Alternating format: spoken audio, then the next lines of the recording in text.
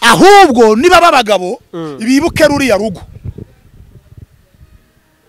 Barusigasire aho kurusenya.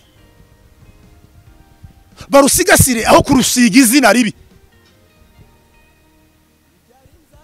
Barusigasire aho kugira ngo abahisi n'abagenzi barwote.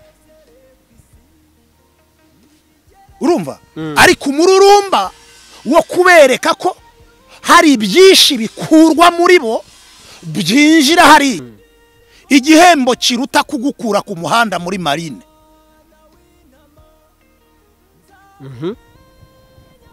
nkagukura ntarakubyaye Mm. nkagukura tutaziranye nta sano dufitanye Mm. nkakujyana iwanjye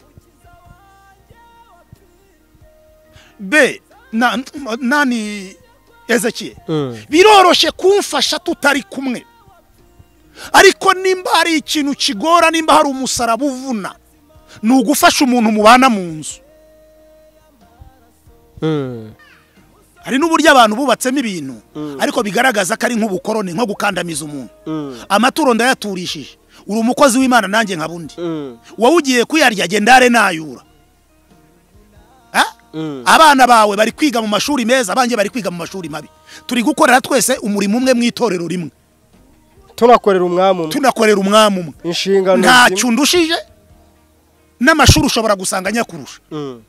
rero uriya mugabo kuba yaduhitanye Mm. yakoze icyaha cyo kwiba gusa Mm. ariko nta kindi cyaha yakoreye adp mugabo tekereza noneho mbaye umupfakazi. Ku bana ntazanye. Sigaranye n'abana ntazanye. Urumva? Ariko ngiye kubasigarana ku bw'uko umugabo wanjye yabazanye eh? Mm. ntihagira umuntu umbwira bariya bagabo wabonye bafite ubwanwa bungana kuriya Mm. bafite imbaraga zingana kuriya bafite ibituza bingana kuriya bafite imbaraga zingana kuriya urabona uriya mudamu yavuga iki ndabyumva ushatse kubaza ahabwa ahabwa umunani Mm. bitewe n'uko yitwaye ku mubyeyi. Mhm. none genda kurera. Mm. utangiye kugaya ibyo nkugaburiye. Mm. abajyanama bawe bakweretse kuri imari urumva? Ako niyo. Bakweretse ko ndi kukuriraho. Ubwirwa n'iki ko ndi kukuriraho? Ko wasanga ngushoraho byinshi? Ko wasanga ngushoraho byinshi? Kugira ngo izina ry'imana ridatukwa bakagena manda y'imyaka irindwi Mm. imana ikagena manda y'imyaka itanu Mm. ayishuwa uranyumva neza Irindwi. Yes. Irindwi. Ima, abantu bashobora kugena manda y'imyaka irindwi Mm. imana ikabona manda yawe ari iy'imyaka itanu Mm. ikaguhagurutsa ikicaza ahundi ishobora no kukugenera manda y'ukwezi kumwe we n'iki ko ntakwihotoreye Mm. Kandi nkakwihotorera. Nta sano dufitanye nkakwihotorera ku bw'izina rya yesu namenye. Sibyo genda kukwihotorera wowe uri kubona ko nakira byinshi. Umururumba. Abantu benshi benshi bikura mu maboko meza kubera umururumba.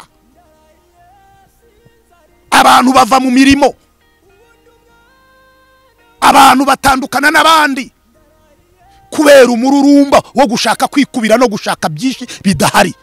Ndakwisabye wa mwana ukajya ucerenginga ibyo mvuga ndabyumva. Ubu ucukura imisarani wari ukwiye gukundwa. Uzajya ubona abantu bagukunda ubu ngubu ntabwo wari ukwiye gukundwa. Mwese waje kundeba ntakwiriye Icyo wari ugeze mu gihe cyo gukundwa. Wagiye wemera ukuri kw'abanyarwanda? Kandi ibyo uri kuvuga wibuke usubize amaso inyuma. Abo wagiye ufasha na wa mugabo twari turi inshuti umuzanira umuceri igitoki. Umwaturaho kubyara. Kubyara byara n'umuhungu. Ariko ubu ntiyampamagara ntiyansuhuza ntiyamvugisha kandi ikiganiro nakibonye kuri yesi canora bamusohoye mu nzu. Ku mavuta ati amavu urwego ugeramo. Rw'ubuyobozi. Kabone n'iyo waba waritwariritse ute ku buryo byanze bikunze urwo rwego igihe uwo mwanya uwuvuyeho. Byanze bikunze hari ibintu ukurikiranwaho. Irwi neza bakayizirikana. Mm. abagira neza barahari. Ariko habuze abantu bagirirwa neza ngo babizirikane. Ku kantu gasubiremo abagira neza barahari. Ahubwo habuze abantu bagirirwa ineza ngo bayizirikane. Noneho urebe n'uburyo abantu ari abagome. Umuntu umugirira neza bugacya akavuga ngo yakurushije gukiranuka. Ngo yakurushije gukiranuka ngo igitumye atandukana nawe nuko yabonye uri umunyabyaha. Ndi umunyabyaha narakwigishije. Gushaka ubuzima. Kantimiri wabutoreraga iki kari ubusa kuki wabwakira? Ikibazo ni ukwita ikintu ubusa. Ariko wamaze ni kwakira ikibazo gikomeye cy'indwara imaze gufata abantu Mm. ari na yo mpamvu abantu bari kwisanga Mm. birirwa bavuga hano bakirirwa bataka ntihagire ubumva kubera iki kuko hari abanyuze imbere yabo bagaragaje umururumba iyo udafite umururumba icyo ubonye cyose kirakunyura Mm. kandi ukibuka gushimira imana ndetse n'uwabikoze ibyo ukabimuhemba urakena. Uri gukurikirana nta kindi rero kugira ngo abantu bakomeze kugirirwa neza ntibemere kunyurwa n'ibyo abantu babakoreye kandi babibashimire bakiriho Mm. ntabwo ubu twagabaye dufata umwanya iminota iyi n'iyi tuvuga ku muryango w'inzahuke Mm. kuko uriya mugabo yakoreye imana asoza urugendo rwe neza Mm. abo yafashije aho yabasize yabasize atari abana bakigwa mu ziko Mm. Nabo nibahaguruke bakure amaboko mu mifuka bakore? None si iyo nzu yahiye bagahisha umwotsi bishingiye ku ki? Hari n'umwe? Nanjye nkubaze. Mu masezerano harimo ayo kurya no kubambika. Hari n'umwe wavuyeyo yambaye ubusa? Nsubiza. Hari n'umwe wavuyeyo yambaye ubusa? Nsubiza yego cyangwa oya aye gukubita isuka ku rutare. Ndabanza nibo baza kwandika komenti banuka. Mm. twibukiranye ko aba bagabo bose baregaga bari abanyabyaha. Itorero ryari ryarabaciye? Mm. ntabwo ari bose. Bamwe muri bo nari imbeshyi bamwe muri bo bari abanyabyaha. Itorero ryabirukanye kubera ingeso zabo. Urumva? Nabonye umugabo uri gukora ikiganiro yerekana ikiganiro nakoze mu gihe cyashize. Ntibyari nzamara imirimo wamaye ngo nsezere ku isi.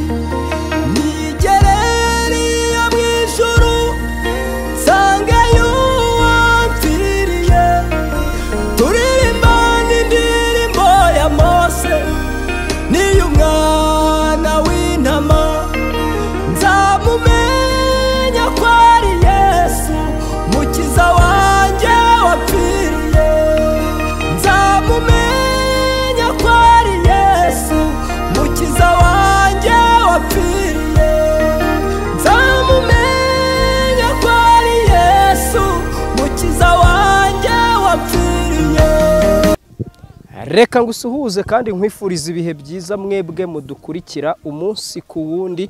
Kafata umwanya nongere mbashimire ko mukunda kubana natwe mu nkuru n'ibiganiro byacu. Bya buri munsi nitwa ezekiyeri rukundo niyo mazina yanjye. Ndi kumwe na bishop gerard mugisha umwe mu bagabo imana yemera kandi iri gukoresha ibintu bikomeye. Eh, bishop. Wari ufite amakuru y'uko uri mu bantu imana iri kwemera muri iyi minsi? Eh imana yo ni ngombwa kunyemera. Mm, Eh, bitewe n'uko mm,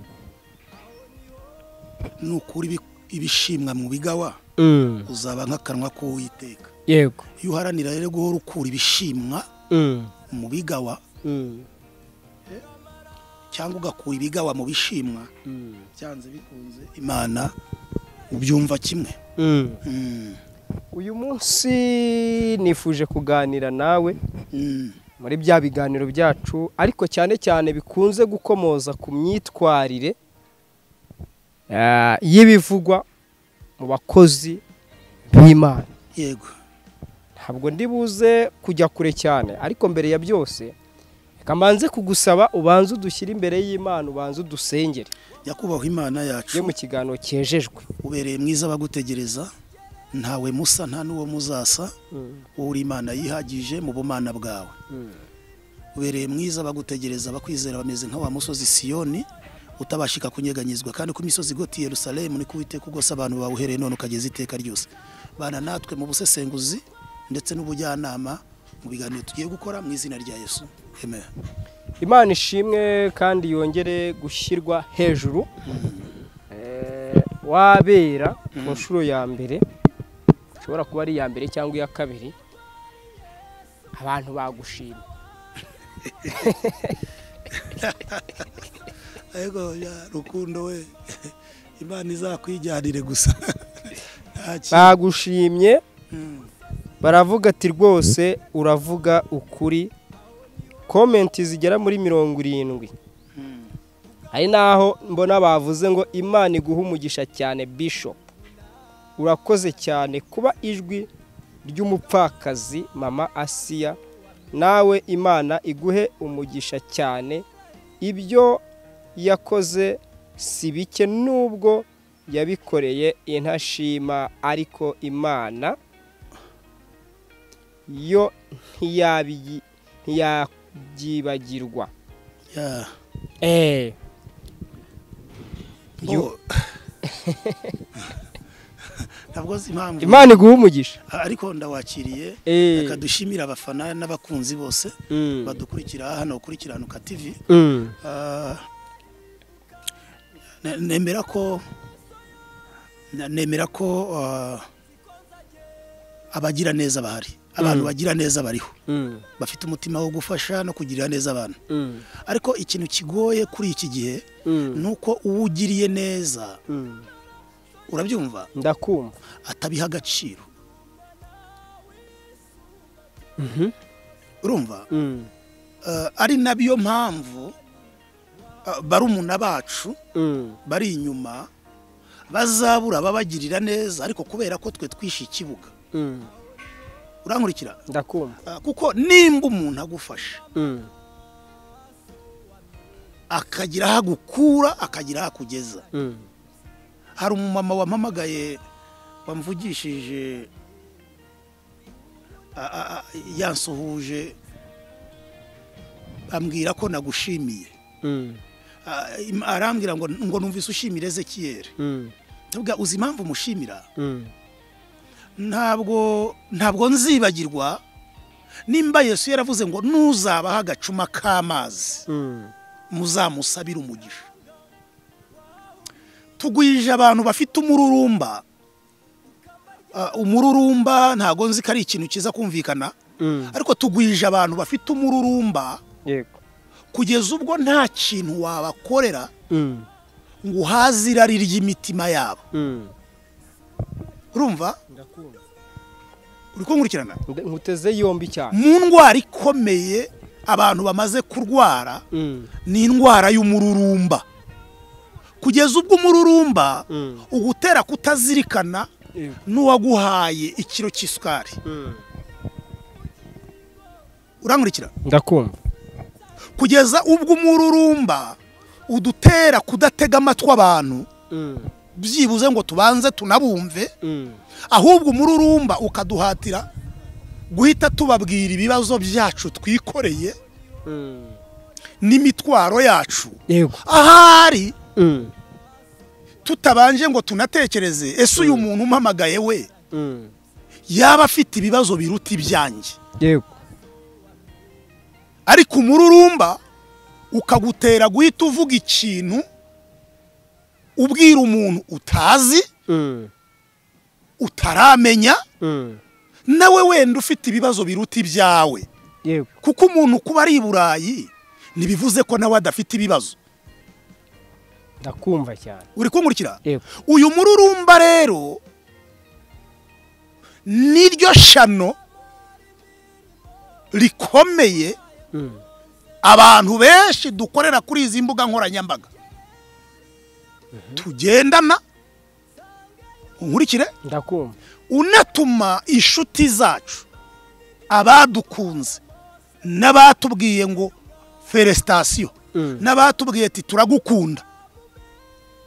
Baturekura vuba. Mm. kubera ko twazanye icyo bita umururumba. Urabyumva? Bibiriya iravuga ngo mwituze no mu byiringiro hari igisubizo. Igihe utaratega umuntu amatwi Mm. igihe utarumva umuntu ugahita umuturaho ibibazo byawe. Mm. biragoye ko uyu muntu yaguha umwanya. Kuko abanyabibazo barahari. Hakeneye umuntu ubanza kwakira ukamwumva. Mm. ugaha agaciro ibyo ashaka kukubwira. Mm. hanyuma ibindi bibazo byawe bikazaza nyuma cyane cyane ko ashobora no kwibwiriza utarinze umusaba. Rero reka nshimire abo bafana bavuze ngo imana izaha umugisha. Iz- impa umugisha. Ndawakiriye inshuti y'umusaraba. Ariko nkiri kuri mama asiya Mm. buriya bano bana nta n'ikintu bari bakwiye bano bagabo nta kintu bari bakwiye kuvuga Mm. nimba hari n'umuntu wabashutse akabwira ati nimuze kuri shosho mediya muvuge muraza kubona babaha idolari nta muntu wafasha umugabo ungana kuriya noneho utanahaye agaciro kuko ikiganiro iri joro ni bwo nagikurikiranye neza Mm. Uburyo uriya mwana w'umusore arimo aravuga uriya musore ari kumuvuga arerekana ko umutungo wa pasita teogene ari uwabo. Yego. Nibwo na cyanarije neza. Mm. arerekana ko uwo mutungo ari uwabo. Mm. akavuga ati amabuye yaradutemye ntacyo duhembwa. Ariko reka mubwire igihembo bamuhaye. Igihembo kiruta kugukura ku muhanda muri marine.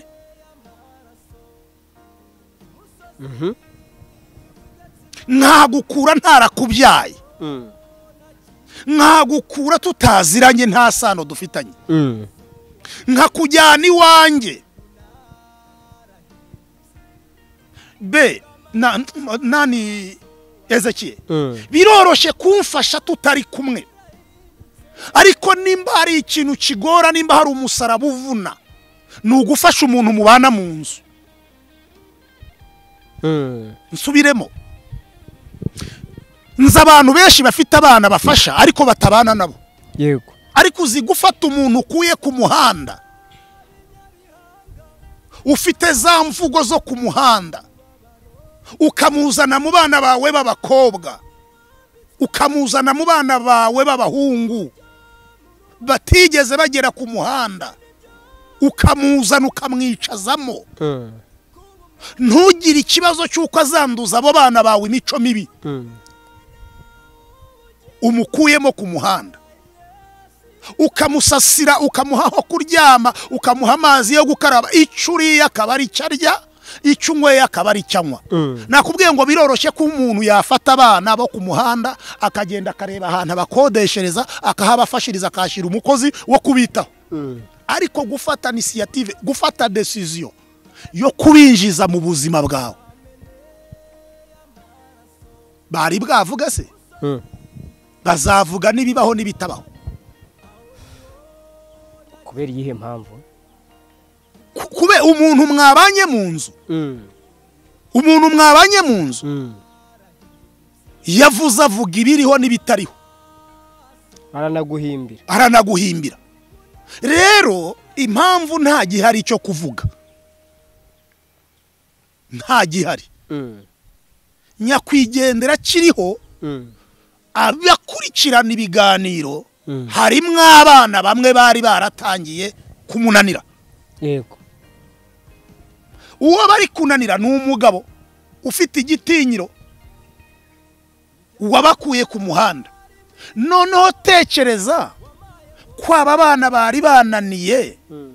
Ndi umugabo. Mm. tekereza noneho mbaye umupfakazi. Ku bana ntazanye. Sigaranye n'abana ntazanye. Mm. urumva?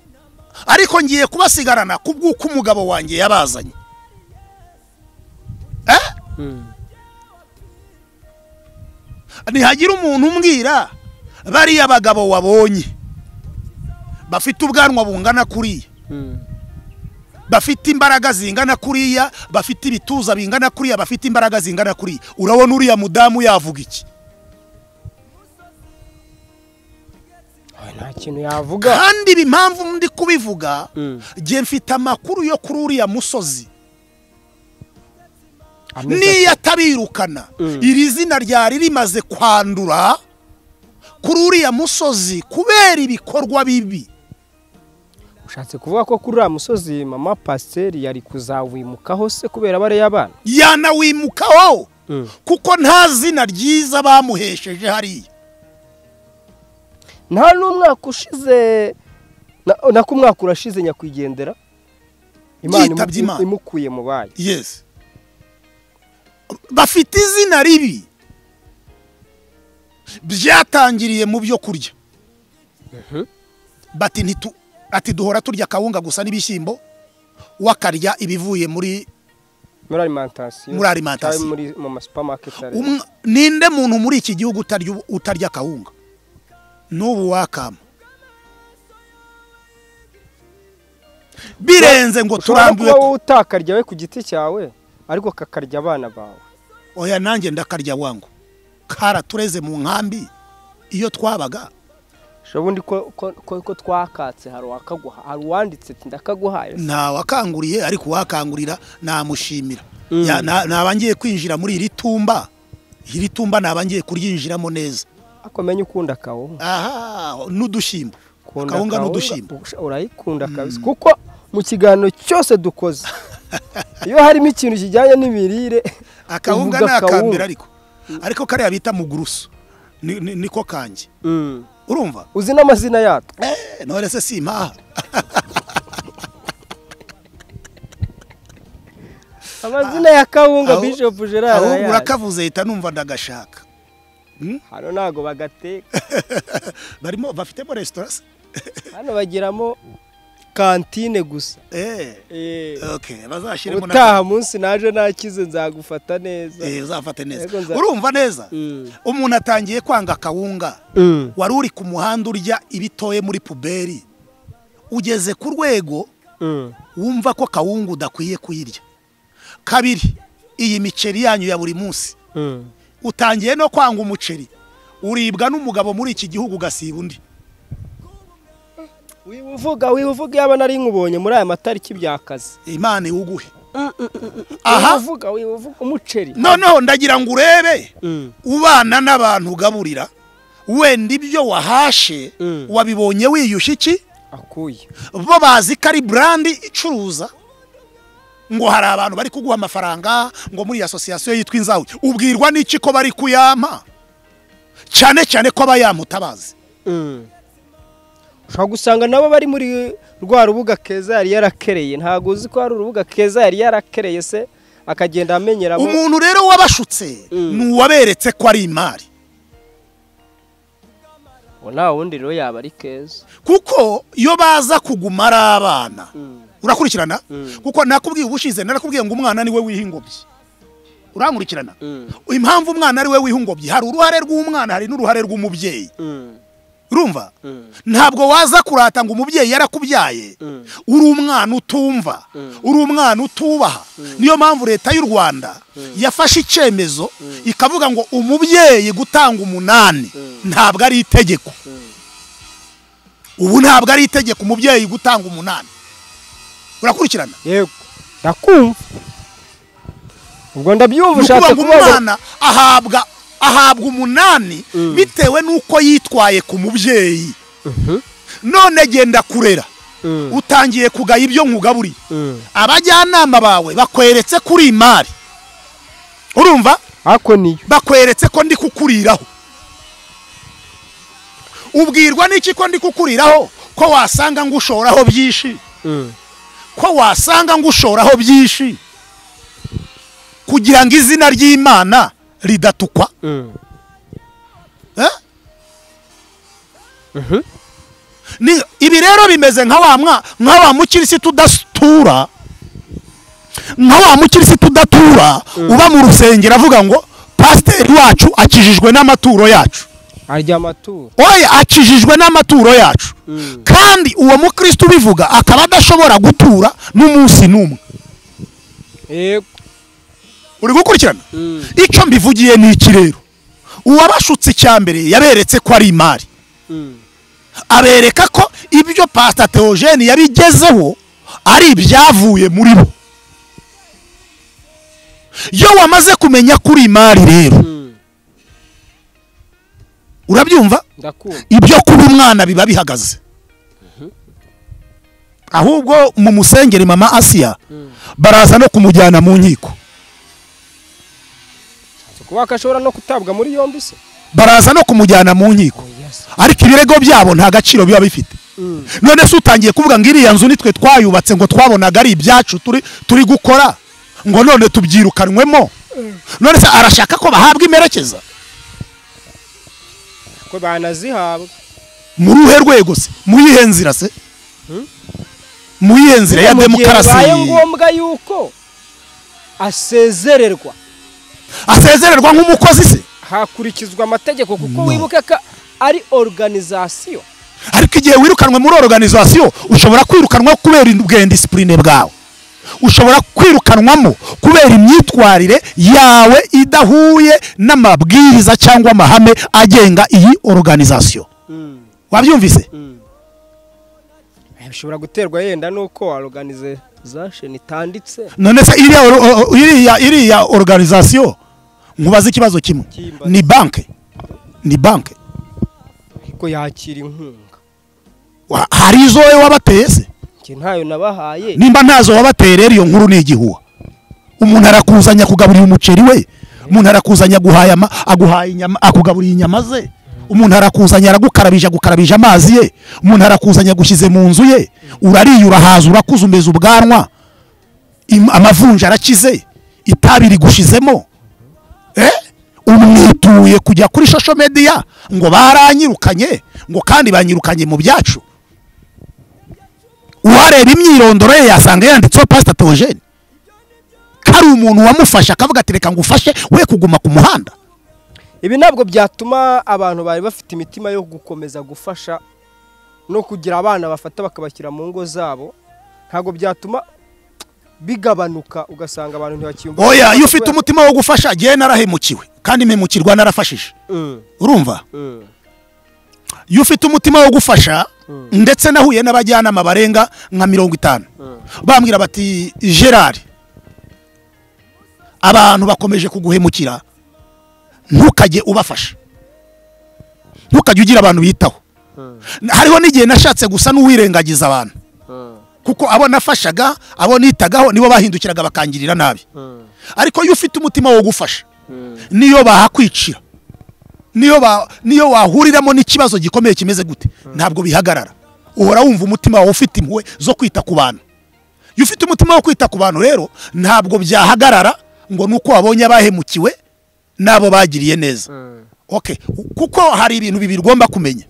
Iyo dufasha abantu cyangwa iyo ugirira neza umuntu ndagira ngo mbibwire abantu badukurikiye. Uba witeguye ibintu bibiri. Icya mbere hari ineza ishobora guturuka kuri uyu muntu wagiriye neza. Ariko hariho n'igihe havamo inabi.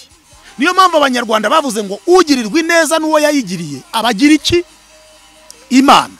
Rero iyo wituwe inabi n'uwo wagiriye neza ntuzabe sufurance ntuzababare. Kubera iki? Kubera ko hari ijambo rikomeye rivuga ngo kuko idakiranirwa ngo yibagirwe imirimo. N'urukundo twagaragaje ko dukunze izina ryayo. Abo tugiriye neza ku isi iyo batayitwituye hari imana izayitwitura. Iyo batayibutse hari imana itibagirwa ndabizi hari abantu bankurikiye hano bagiye bakomereka ndetse n'uyu mama asiya ndatekereza hari amarira ari kujenga mu maso ye. Ndatekereza hari uburyo umutima we ubabaye. Uburyo umutima we ubabaye rero ashobora kwibaza ati aba bana naruhanye atari bene mama. Ngasigarana nabo mu bupfakazi. Nkabafatikanya n'abanjye batatu. B'imfubyi. Sindye ngo mbime. Simbashyire hanze. Ubu koko mana ibi niyo nyiturano. Ashobora kubona kiriya kiganiro. Iyi niyo nyiturano iyi niyo mana nakoreye. Hari ahantu nageze ndibaza ngo mana iki gikorwa ko nagikoze mu rukundo nkagikora uyu muntu umukunze? Iyi niyo nyiturano. Anyituye ku mbamba. Anyituye kutifuza ko mbaho. Anyituye kwifuza ko mpfa. N'urubyaro rwanjye. Ariko nza kumva ijwi. Rimbwira ngo hari idakiranirwa ngo yibagirwe imirimo. Amen. Urabyumva? Mm. abantu rero kubera umururumba na duce bari bafite batwikuyemo Mm. kubera gushaka byinshi. Kandi byinshi bidahari. Ndatekereza aba bana nibo bikuye muri ruriya rugo kubera umururumba. Kubera gushaka byinshi. Kuko nimba uvuga ngo hari ibyo ndi kwakira wambonye mbyakira ubwiwe n'iki ko ntakwihotoreye? Kandi nkakwihotorera nta sano dufitanye nkakwihotorera ku bw'izina rya yesu namenye. Sibyo? Genda kukwihotorera wowe uri kubona ko nakira byinshi. Umururumba. Abantu benshi. Benshi. Bikura mu maboko meza kubera umururumba. Abantu bava mu mirimo. Abantu batandukana n'abandi kubera umururumba wo gushaka kwikubira no gushaka byinshi bidahari. Ugahora wumva ko ngo ukuramo byinshi Mm. Ugatekereza ko nuramuka utandukanye nanjye Mm. ibyo byinshi ngo ukuramo ari bwo uzabibona. Noneho ukabura na bya bice Mm. nkurikira ukabura na bya bice wabonaga. Nibyo bigiye kuba kuri aba bana. Bacicaye muri ruriya rugo bakarabaga. Nta nzu bishyuraga. Nta bishingwe. Nta rondo. Kwari ukurya no kuryama. Ndi nkabo rero. Ntabwo naza kuri shosho mediya ahubwo nagenda ngashaka akazi. Namara gushaka akazi mama hasi akajya abona ku wa gatandatu. Numvise bavuga ngo barimo barashaka ubuyede nabibashimisha ahubwo mu bushake cyane mama hasi akajya kubona kubona ku wa gatandatu hinjiye umufuka w'ibirayi. Hinjiye umufuka w'igitoki. Bakamubwira bati meri dadi yatuvanye ku muhanda. Atuvana ku muhanda nta wundi utwitayeho. Atuzana hano. Dadi yitabye imana. Ariko natwe turabona ko hari izindi mfubyi ntoya wasigaranye. Ni muri urwo rwego tuzajya tujya gushaka akazi. Tukohereza isukari tukohereza amata kuko tumaze gukura tubaye abantu b'abagabo. Mm. ni iki kitubuza kuba abantu beza? Ni iki kitubuza kuzirikana neza abantu batugiriye? Ubu nzibagirwa uwanyishyuriye inzu. Basohoye wamwibagirwa. Nzibagirwa uwampaye agacupa k'amazi. Mm. nzibagirwa ezakiyeri ese igihe si we yagukoreye iki? Wanyitangishirije kamera. Ikibazo ni uko twakwibagirwa vitari twese. Nzibagirwe vitari Mhm. impemburo tivi imirimo twakoranye yo gufasha abakene. Mm. uburyo yagiye atuzamura. Ariko ndacyasaba mukuru we yanyandikira ndacyasaba vitari ndagukeneye. Twibagirwa abantu bagiye batugirira neza kubera umururumba. Twibagirwa abantu bagiye badufasha mu bihe bikomeye. Mm. isi iri kuduseka amahoro twayabuze umunezero ntawo dufite nta gaciro dufite. Twibagirwa abo bantu kubera umururumba. Amakuru namenye ni uko ari uriya witwa jacques mutaramu ushobora kuba ari we urimo uravayo ngo ariko abandi baracyahari. Uwavuyeyo wese ni we wikuyeyo. Ese kutubwira ngo ngo amakuru ufite ni uko umurengwa ari wo wabishe batangira gushaka ibintu nawe ufite amakuru ari we wenyine. Cyangwa ntabwo ari we wenyine hari n'abandi bavuye hari n'abandi bavuyeyo bataravuga. Cyangwa se bakigishwa ibyo bazavuga. Mm. ariko ibyo bavuga byose nta kiruta urukundo nakugaragarije udakwiye gukundwa. Mm. tujye tubwiza n'abantu ukuri. Bakwiye gukundwa se buriya ntabwo bari bakwiye gukundwa. Bari bakwiye gukundwa mu ruhe rwego se? Kuko imana yakunze abari mu isi cyane. Iryo somo wirinzanira ntabwo ari ryo turimo. Hari uwagukunze udakwiye gukundwa urwaye kwashi udakaraba utisiga nta zina ufite uri aho ku muhanda. Arahagukunda we arahagukura. Ahagukura ku bw'urukundo rw'imana. Urumva rero yari akwiye gukundwa. Ahubwo ikibazo ni ukwitesha ndakwisabye wa mwana ukajya ucerenginga ibyo mvuga ndabyumva. Urarakaye se? Ubu ucukura imisarani wari ukwiye gukundwa. Uzajya ubona abantu bagukunda ubu ngubu ntabwo wari ukwiye gukundwa. Mwese waje kundeba ntakwiriye gukundwa. Wari ugeze mu gihe cyo gukundwa. Wagiye wemera ukuri kw'abanyarwanda? Kandi ibyo uri kuvuga wibuke usubize amaso inyuma. Abo wagiye ufasha na wa mugabo twari turi inshuti. Umuzanira umuceri igitoki. Umwaturaho kubyara. Kubyara byara n'umuhungu.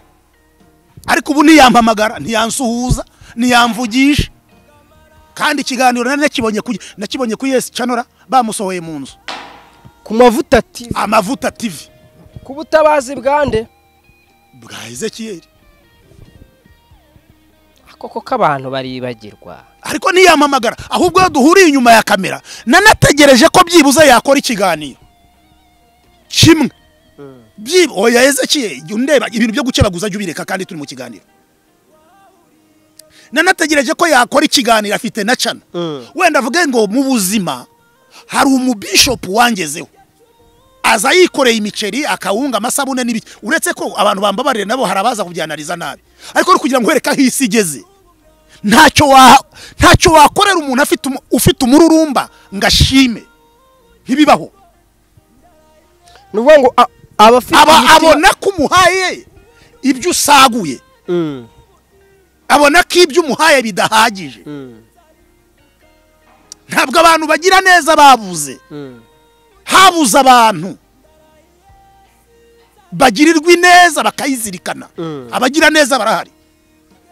Ariko habuze abantu bagirirwa neza ngo babizirikane. Ku kantu gasubiremo abagira neza barahari. Ahubwo habuze abantu bagirirwa ineza ngo bayizirikane. Mm.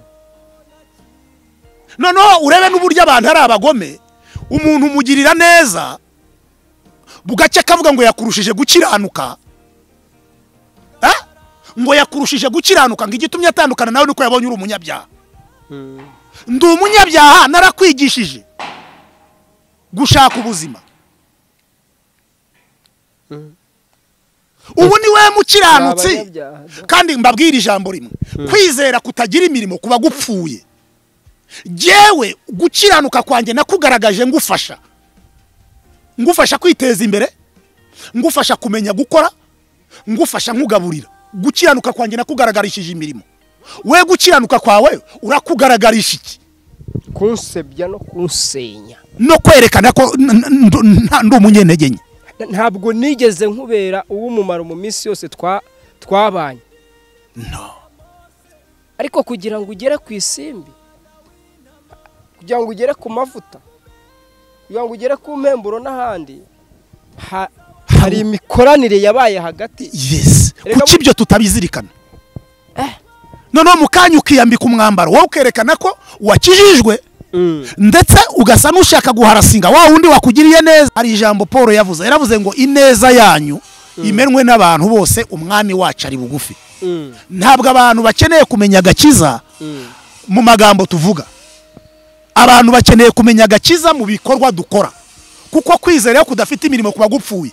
Jyewe gukiranuka kwanjye nakugaragarishije imirimo ngufasha nawe naho nyereka gukiranuka kwawe. Ukugaragarisha imirimo atari amagambo. Kuko agakiza k'amagambo ntabwo kabaho. ugomba kumenya ko aba bantu nubwo watangiye ubatamika bashaka ko no muri cya gihe batangiye kwitamika n'ubundi ukomeza ukabatamika. Baravuga rero ngo uhongera umurozi amara amara iki? Amara imbuto amara iki? Uwo mugani ntabwo nkuzi neza. Eh, Mm, urakurikirana. Icyo ashaka kuvuga ngiki mm. abantu nibareka umururumba. Mm. gerard araguha bitanu. Ati buriya afite menshi amaye ibisagutse. Mfite menshi yo guta bitanu? Mfite menshi yo guta bitanu umudiyesipora arohereza idolari mirongo itanu. Ati buriya busa bwabo bw'ubuhumbi mirongo itanu ati birirwa badushukisha. Ubusa senkanti miri wabutoreraga iki? Kari ubusa kuki wabwakiriye? Ikibazo ni ukwita ikintu ubusa. Ariko wamaze ni kwakira ikibazo gikomeye cy'indwara imaze gufata abantu Mm. ari na yo mpamvu abantu bari kwisanga Mm. birirwa bavuga hano bakirirwa bataka ntihagire ubumva kubera iki kuko hari abanyuze imbere yabo bagaragaje umururumba iyo udafite umururumba icyo ubonye cyose kirakunyura Mm. kandi ukibuka gushimira imana ndetse n'uwabikoze. Urumva? Mm. gushimira imana ndetse n'uwabikoze. Kuko mu gushima habamo imbaraga imporo isunika kugira ngo n'ejo nzongere ntange ariko mu kudashima habamo imbaraga imbuza gukora n'icyo nagombaga kuzakora kandi nanone. Mm. ayo maboko yose atagikora rero. Araturuka kuko abantu bazanye umururumba kurenza kuzana kunyurwa. Ni iki rero cyatuma eh, umururumba ushira ndetse wenda n'abari kudukurikira bakabikuramo isomo nta kintu cyatuma umururumba ushira mu bantu Mm. kuko usanga umuntu ari ezegitifu Mm. ayoboye umurenge Mm. urumva ukajya kubona ukabona umururumba uramufashe arahembwa afite imodoka ya leta akajya kurya viyupi y'umuturage utambara na bodaboda. Rero ingeso yo kugira ngo umuntu ashire umururumba Mm. ni ukwemerera kirisitu wenyine. Wenyine. Mm. naho umururumba umuntu awurwara ayobora kampani ariko agakoresha umukozi ntamuhembe umururumba ukamubwira ati wihembe uriya mukozi. Kandi afite za miliyari kuri konti. Sinkubwire ngo umururumba ufitwe n'abakene. Oya hari abakene bazi kunyurwa. Wabyumvise? Mm. umururumba ufitwe n'abakire ufitwe n'abakene. Ni gute udahemba umukozi kandi ufite za miliyari. Ariko umururumba urakubwira ngo nukuramo ibihumbi magana abiri by'uko abimuhemba urakena. Mm. uri gukurikirana? Nta kindi rero kugira ngo abantu bakomeze kugirirwa neza ntibemere kunyurwa n'ibyo abantu babakoreye. Kandi babibashimire bakiriho. Mm. ntabwo ubu twagabaye dufata umwanya iminota iyi n'iyi tuvuga ku muryango w'inzahuke. Kuko uriya mugabo yakoreye imana asoza urugendo rwe neza Mm. abo yafashije aho yabasize yabasize atari abana bakigwa mu ziko Mm. nabo nibahaguruke bakure amaboko mu mifuka bakore ahubwo niba babagabo Mm. bibuke ruriya rugo barusigasire aho kurusenya barusigasire aho kurusiga izina ribi barusigasire aho kugira ngo abahisi n'abagenzi barwote.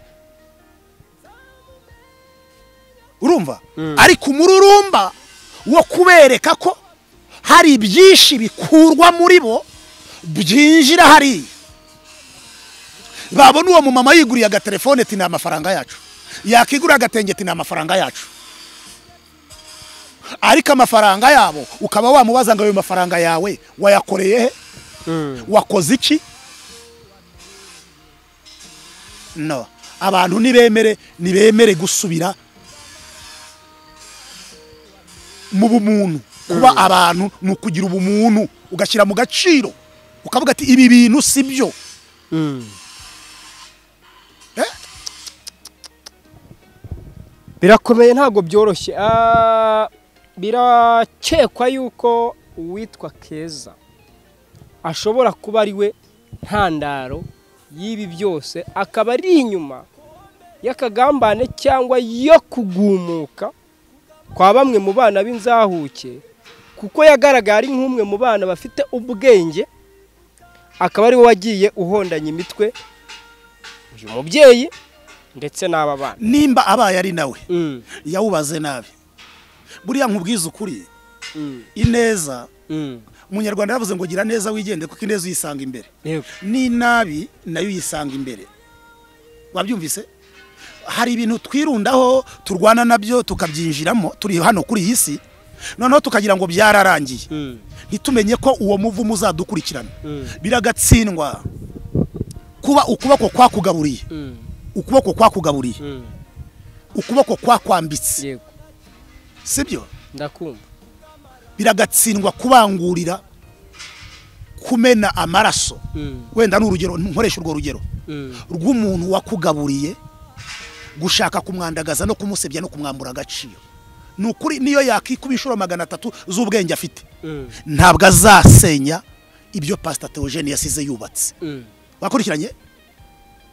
Kandi ibyo yifuza kuzakuramo ntabwo azabibona. Urumva? Kuko nta muntu n'umwe ufite umutima mubi. Nta munyeshyari ugira iterambere. Nta munyeshyari ugira ahagera. Isomo rya nyuma umuntu yiga agahita ahinduka umurozi ni ukuba umunyeshyari. Burya se. Iyo wamaze kuzura ishyari haba ha- ikiba gisigaye kuba ari ukuroga. Urumva? Rero kugirira ishyari uriya mubyeyi urumva? Bakabona ko ubuzima bwabo bakabona ko ibyo ibyo afite abikura muri bo. Uriya ni umwuka w'ishyari umwuka w'ishyari rero uwawugize yitwa kayini yagiriye ishyari aberi. Icyo icyo byamubyariye mwese murakizi. Icyo navuga ni kimwe. Ahubwo bano bana ngiye kubaha isomo rimwe nibasubire kwa pasita teogene n'abandi bavuyeyo bamusaba imbabazi z'amakosa basize bakoze. Abahesha umugisha nk'umubyeyi bagenda amahoro. Naho ubundi nibagenda batamusabye imbabazi. Z'amakosa bamukoreye. Ntabwo bazahirwa. Ibyo bazajyamo byose ntibizakunda. Nibasubireyo dore mwararezwe mu babaga mubera ubwanwa nimusubireyo mwikubita imbere mubwiye ati mubyeyi. Twarahemutse ducumura kuri wowe no ku yo mu ijuru twumvise amabwire tuvuga ibivugwa n'ibitavugwa. Twaragusebeje ntitwakubereye abana beza twakubereye abana gito. Bamusaba imbabazi. Ababwire ati ndabababariye. Nawe nzi ko nta mutima muba afite. Nibarangiza bajye kwikorera ubwo buyede bajye kwishakira ako kazi bajye kwishakishiriza nibabona ikiro cy'isukari bibuke ko hari umubyeyi hari tante wabo. Bamwoherereza icyo kiro babwiye ati hari umumotari mpaye ibiro bibiri by'isukari kugira ngo abana ba- ba- batabura icyayi. Hari umumotari mpaye agakarito k'amata kugira ngo abana banywe amata. Aho bazahirwa.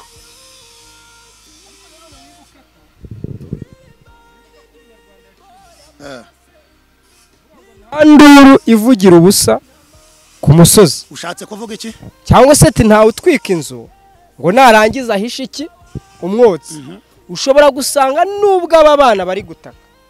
Ariko bakaba bataka bafite ikibatakisha. Kigiki ugasanga koko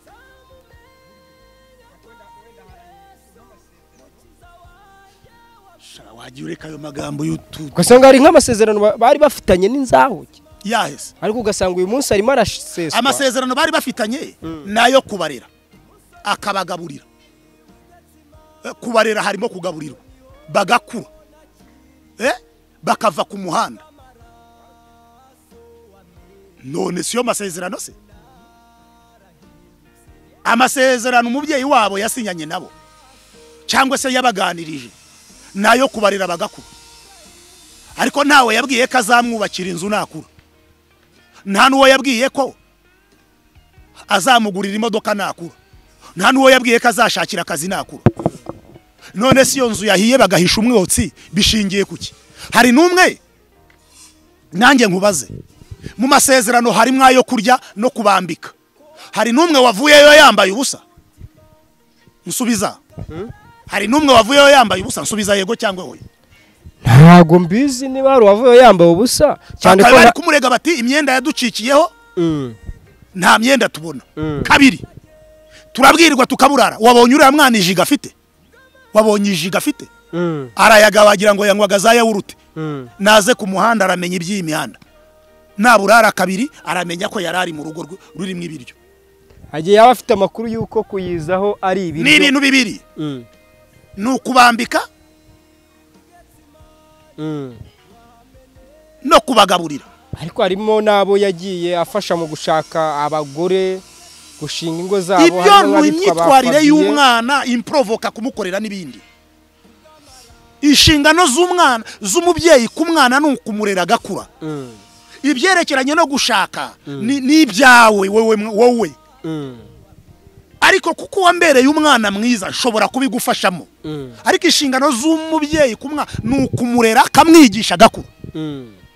yarabareze rero barakura bari kuvuga za so kuri social media baravugira iki? So nta bindi bisigaye. Mm. ntibihigira ubuzima. Ahubwo basabira umugisha uriya muryango.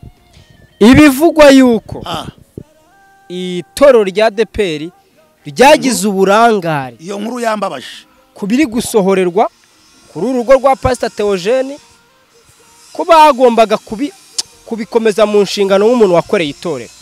Bagakomeza ibiki?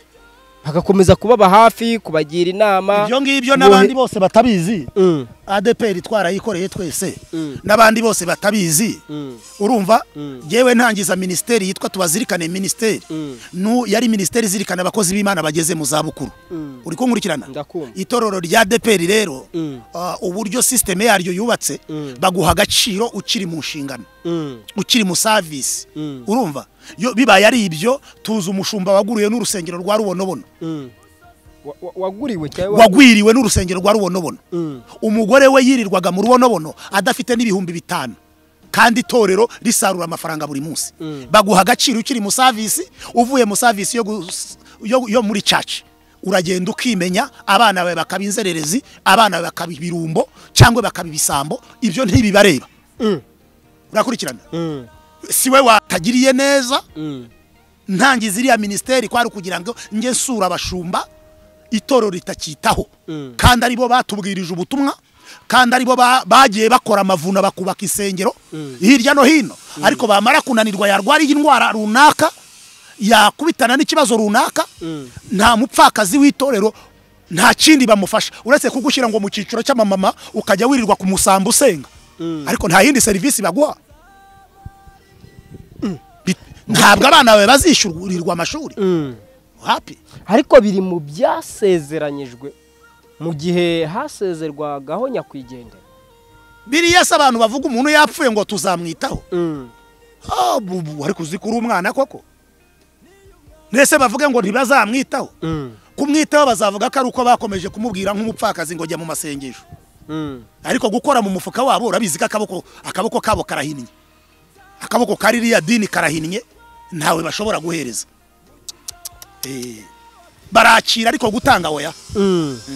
ikibazo ni uko bananirwa kubitanga bigapfa ubusa bamwe muri bo. Ntabwo bipfa ubusa. Ba- ba- bakabishimuta bakabijyana. Eh, uriya mwarimu wateruye udufaranga tw'inyarugenge se? Iyo za nyarugenge ngo hari umwarimu wamaze kuduterura ndetse ngo agenda atorokanye n'umugore. Ariko uriya wese ntabwo namurenganye. Mm. Eh, ntabwo namurenganye. Mm. ntabwo wamurenganya gute? None se insengero ntizifunze. Ahubwo si ubu yaducomoye ati yadutwaye zitarafungwa yadutwaye zafunzwe. Byagenze gute kugira ngo adutere? Buriya. Mm? yesu yaravuze ngo ntimugahambire umunwa w'inka kandi ihonyora. Ni gute umhambira umunwa kandi ibiryo mbibona Mm. hari n'uburyo abantu bubatsemo ibintu Mm. ariko bigaragaza ko ari nk'ubukoroni nko gukandamiza umuntu. Amaturo ndayaturishije. Uri umukozi w'imana nanjye nka bundi. Mm. wowe ugiye kuyarya genda are nayura Ah? Mm. abana bawe bari kwiga mu mashuri meza abanjye bari kwiga mu mashuri mabi. Turi gukorera twese umurimo umwe mu itorero rimwe tunakorera umwami umwe. Tunakorera umwami umwe. Inshingano ntacyo undushije n'amashuri ushobora gusanga nyakurusha. Mm. rero uriya mugabo kuba yaduhitanye yakoze icyaha cyo kwiba gusa ariko nta kindi cyaha yakoreye adeperi ushatse kuvuga ko ati ibya deperi yakoze mu by'imana. Eh, yakoze mu by'imana. Yakoze mu bya se Eh. mbese ayo maturo ntibayatwaka batubwira ko ari ay'imana. Ni umwana wihaye umugabane. Ni umwana wihaye umugabane mu bya se niko bimeze. Akaba atari gusa ikosa rindi yakoze ni uko yatorokanye umugore w'abandi. w'abandi. Urumva afite ibyaha bibiri. Mm. afite icyaha cyo kwiba. Mm. n'icyo gutwara umugore w'abandi. Ariko uyu mugore abaye mu bantu bagufashije kugira ngo izi note ziterurwe oya n'ubundi ni we wamufashije. kugira ngo oya n'ubundi muzirye. amakuru ko ari we wamufashije. Mm. kuko uyu mugore ni we wabaga uri- uyari iruhande. Mm. Eh, urumva ari uwo ku- gu- gutorokana n'umuntu wagufashe bagiye kuzisangira oya bagiye kuba kureba agashinga bikorera uganda. Mm. buriya bagiye gutangizayo ka minisiteri abaza abantu bazajya bahunga bahungire uganda. Oya bashobora no kujya na za kenya hose bajyayo. Mm. na za mozambique hose mba mbabona baguruka. Njya nkubita nabo za mozambique nkubitana nabo. Hano hirya za uganda Mm. ariko byose icyo twavuga ni kimwe Mm. Ah, ah, ibigeragezo ni, rusange ku isi kuyatorokana Mm. Ah. oya ya- Ntabwo- yasimbukanye umuhungu ntabwo biri buze kwitwa igisebo gikomeye ni n'igisebo gikomeye ku itorero biragaragaza ko abakozi babo bafite inzara kandi bafite inzara hari ibiryo. Ni nk'ukuntu wakanga ko abana barya munsi y'umurima munsi y'urugo hari ibijumba byeze. Noneho abana bakavuga ati ariko dukomeze twicwe n'inzara kandi ibijumba byeze. Bakajya kubikura. Eh, ni uko byagenze. Bwa mbere mu minsi yatambutse ati hari abariye amafaranga ya gisozi. Ah, ah, gisozi yo yarariwe we yarariwe. Ntabwo uzi ko hari n'abubatsemo amataje? N'abari baguzemo za vewiti zose zigasubizwa se bigafatirwa. Eh, baranafunzwe bariya abahungu bari bariyemeje. Ariko icyo gihe nabo du- dusonze mu byo uvuze nabo bari bariye mu mutungo wa se. Oya bariya bakoze amakosa. Mm. kuko urumva iyo umaze kuzuza hoteli nk'iriya baza kuyikorera egisperitize urumva? Bakareba uwo mutungo uhagaze angahe. Miliyoni berekanaga rero byasanze bidahura n'uko rwose zaba zaragiye kuri iriya hoteli. Urumva rero kubakanda kubakanda bo urumva ko nabo bari bakabije. Eh, urumva ntabwo ari kimwe n'uwariye amaturo bariya bariye amafaranga y'ubwubatsi ariya ntabwo ari amaturo. Ariya ntabwo aba akitwa amaturo. Ibi ngibi perezire asa nkaho yabikomojeho. Bati nzabazanira amakuru y'umushumba ukomeye. Muri adeperi wateruye amafaranga arayatorokana oya yarayatorokanye. Abivuga bati ndimo ndacyari kuyakusanya. Ariko mu bigenda bivugirwa mu gikari biravugwa ko n'abandi na bamwe bo mu itangazamakuru ngo batinye kuvuga ngo berure ngo bagaragaze n'uyu muntu ngo uwo ari we ngo kubera ngo Oya, icyo impamvu twabwira abantu? ngo, z'imbaraga ngo z'uburyo ngo yari akomeye mu idini ngo abanyedini ngo bahita ngo bamera ngo nk'igihugu gicitse umugongo umunwa wabo ushaka kuvuga Mm, barabivuga. Barabivuga rwose ubu natwe tubinyuze ko hejuru mm. ariko mu kanya ubu tubahaye tura- turasesheje ni nk'uko wasesa umwumba tugasiga uwanitse uwushyize hejuru ntuwukure Mm. abandi baraza bo barashyira hejuru bati tubonye aho itangiriye reka Eh, ariko uko gahunda imbi imeze Mm. urumva ibi ni ibibazo bigaragara mu- ni icyerekana ko mu bakozi b'itorero harimo ubukene kandi ubukene bukaba buhari ariko hatari uko hahuza ubushobozi ahubwo kuko habuze umutima Mm, urumva? Mm, wo kwita kuri abo bantu. Mm. Eh, nubwo bikomeje kugenda bikemangwa bikekwa ariko bamwe bo mu bakristo b'itoro rya deperi bikuba ati nyuma y'uko ah, umuyobozi mukuru wa rgb yusita kayitesi asezerewe mu nshingano se cyangwa se yegujwe agasimburwa n'undi ko batakiri gukoma. N'umushumba mukuru yizayi bari. Bari ibyo biri gukekwa yuko bari mu kiruhuko. ngo ashobora izayi ashobora gukurikizwa ntawe ngo akeguzwa muri iri dini. Oya niyo yakeguzwa Mm. manda ye buriya rega mujye mumenya ibi ngibi. Mm, hari igihe cyanjye ntagahora gahanze mm, si umugani w'ikinyarwanda. None se muragira ngo agumeho nka mo kigali? Iriya ntebe ifite abandi bayicayeho bahagurukaho baragenda. Nawe araza yicaraho igihe cye imana yari igennye araza yicaraho. Urakurikirana? Mm, mm. igihe rero kizanagera yihagurukeho. Ari yayihagurukaho se manda y'imyaka irindwi itarangiye kandi yarayitora Erega wayihaguruka igihe igihe imana yagennye. Mm. hari igihe abantu bagena. Bakagena manda y'imyaka irindwi. Imana ikagena manda y'imyaka itanu. Ayishuwa uranyumva neza? Yes. Ima, abantu bashobora kugena manda y'imyaka irindwi. Mm. imana ikabona manda yawe ari iy'imyaka itanu. Mm. ikaguhagurutsa ikicaza ahundi ishobora no kukugenera manda y'ukwezi kumwe. Kandi wari wahawe irindwi n'abantu. Ariko ikavuga ati kwari ukwezi kumwe kugira ngo nawe wicare muri iyo ntebe wumve uko bimeze. Mm. wumve umunyenga. Ibi bintu ntibyumvikana. Ariko ntabwo nakumva igisobanuro cy'iyi manda itaba yujuje imyaka irindwi yatorewe. Ahantu yamwerekeza ntabwo mwese ko yatowe n'abantu imana ishobora kuba iyo yamutoreye ari itanu ukaba wumva ko yamuhagurutsa gutyo gusa itamwerekeje mu nkiko nk'abandi bose erega jya utandukanya ibintu bibiri Mm. Nimba nimba wayoboraga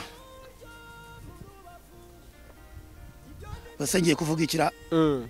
nimba ah, ubuyobozi buratandukanye Mm. Hari urwego ugeramo? Mm. urumva? Hari urwego ugeramo?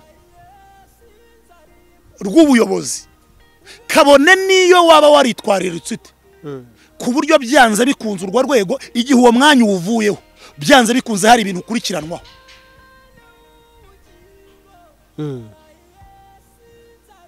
sinzi niba uri kunyumva. Nguteze yombi hari urwego ugeraho mu byerekeranye n'ubuyobozi. Kabone n'iyo waba weguye ari wowe ubishatse cyangwa wegujwe. Byanze bikunze ku buryo utabura ibintu ukurikiranwaho.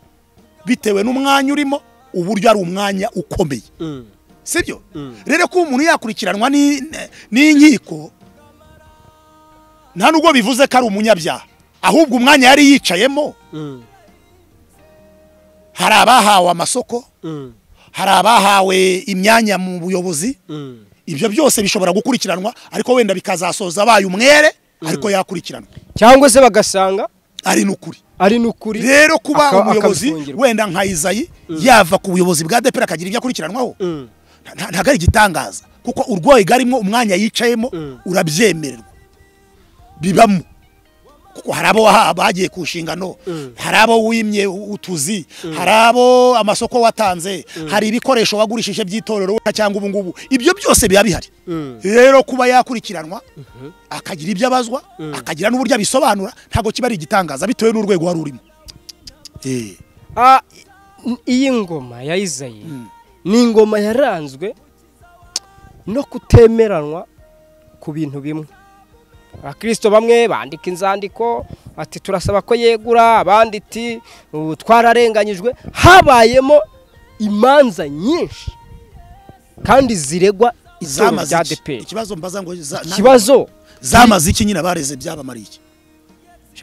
Menya ko harabaye gukubita isuka ku rutare. Ndabanza nibo baza kwandika komenti banuka. Twibukiranye ko aba bagabo bose baregaga bari abanyabyaha. Itorero ryari ryarabaciye? Ntabwo ari bose. Bamwe muri bo nari imbeshye bamwe muri bo bari abanyabyaha. Itorero ryabirukanye kubera ingeso zabo. Urumva? Nabonye umugabo uri gukora ikiganiro yerekana ikiganiro nakoze mu gihe cyashize. Ah, uyu witwa isaro. Eh, nabonye akora ikiganiro agarura ibintu twavuze mu myaka ah, itatu ishize. Noneho akabyereka abantu uburyo twabivugagaho ariko ntababwire impamvu twari twabivuzeho. Impamvu twari twamuvuzeho. Icya mbere yari yaravuze ko ahohoterwa mu rwanda. Yimwe uburenganzira. Ibyo byose biri ku kiganiro cye. Nimba yaranabisibye hari abandi babibitse. Avuga ko nta butaka agira mu gihugu cy'u rwanda yasenyewe resitora nyabugogo impamvu ngiye muri ibintu kugira ngo ngaruke aho ngaho. Yasenyewe resitora muri nyabugogo akaku akimwa uburenganzira mu rwanda ndetse akimwa na pasiporo agahita. Herizi ndamu- nda- ndamubona. Iki kiganiro reka na yo kukivanga n'iki ariko icyo nashakaga kuvuga ngiki urumva? Ndakumva. Ah, kubera ko dufite youtube channel zacu. Turafata abantu bamwe tukabasiga umwanda. Abandi tukabagira beza. Ntabwo ibi bintu najyaga kongera kubivugaho ariko icyo nashakaga kuvuga ngiki abo bagabo bose baregaga bazi neza amakosa bari barakoreye itorero.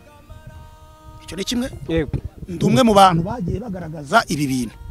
Banazi neza bamwe muri bo ntabwo ari bose banazi neza n'icyo bazize. Iki kiganiro reka tugisoreza. Hanyuma nimero yanjye ni zeru karindwi umunani umunani kane gatanu umunani gatanu cumi n'umunani. Ufite ingeso yo kutanyandikiraho inimero. Ukaba unsoreje ikiganiro? Yego. Ni wowe ugisoje? Oya we gisoze? Ntabwo nafata ijambo mu rugo rutari urwanjye mfite ingeso yo kutakwandikiraho nimero reba kuri telefone yawe. Reka ndebe. Jya mu kiganiro. Ntayiriho jya ku kiganiro. Nutayisangaho. Ura- uragura agafanta ugutwi. Oya, fanta yo ntabwo nayigura kuko nta kintu mfite. ntabwo nabikora. Nateze nagujije. Ndi umuntu umwe mu bantu bagukunda. Unkurure ugutwi Mm, ariko nanjye urabizi ko uri mu bantu nemera ku mubumbe. Cyane. Uzanareba abandi bose bagenda. Ariko ni we dusigarana. Oya dusigarane kandi. baragiye ariko ni we dusigaranye nanjye ni we kandi nawe ntiwihagarareho nawe baragiye. Oya jye baragiye. kandi igihe impamvu bagiye Mm. nanjye nabigizemo uruhare ariko ni byiza yuko bamwe mu bo tubana batwihishemo. Yego bagenda. rwose. Kuko jyewe nimba hari ikintu kimvuna ni ukubana nawe ntakugira inama. Kubana nawe utantabara mu gihe nagize ikibazo. Kubana nawe ntakwitabaza. Ngo untabare. Mm. kubana nawe ntakugira inama. Kubana nawe ntakwitabaza. Kubana nawe undyarya Mm. ibi bintu bitatu ntabwo njya ashobora gukorana na byo. Mm. Eh, bishop reka ngushimire dushimire n'abari badukurikiye bakore subscribe batange ibitekerezo. Kuko ndumva nifuza ko muri ibi bihe habaho ikintu cyitwa gusana. Imitima. Ibyo twangije. Oya hari amakosa twagiye dukora? Hajya habaho igihe cyo gusana inzu. Zishaje. Yego. Ukongera ukaziha ubushyashya. Ya. hari amakosa twagiye dukora. Ariko igihe kigeze ngo aya makosa akosorwe murakoze. ntabwo izi mbuga twazereye kugira ngo tugire ibyo dusenya twazihaye kugira ngo tugire ibyo dukosora ah, tugaragaze n'ukuri. Hanyuma rero icyo ndi navuga ibi ni ibitekerezo mba ntanze Mm. bidakuraho iby'abandi. Kabiri nta muntu mba mvuze Mm. kuko mwanga. Mm. wabyumvise? Ahubwo biba biterwa n'ibivugwa biri hano muri iyi gospel yacu. Tuza tuje kubisesengura Mm. tuje kuje gutanga ubujyanama Mm. ndetse tuje no guhumuriza abantu. No kwereka abantu ukuri kugira ngo bataza kubona bimwe bakagira ngo ibindi bakagira ngo ibyo by'uwo muntu niko kuri. Yego. Murakoze turabakunda. Ndabashimiye ibiganiro byacu ni akagaruka yewe nitwa ezekiyeri nari nshoje ntababwiye kuri filimi yitwa nyiramiruho. Ni filimi iri kuri kiranuka tv gende usacinge uyikurikire uduhe ibitekerezo ndetse n'indi nyunganizi yose washaka gutanga kugira ngo ino filimi igende neza iriho rwose. Nanjye ndimo ndayikinamo.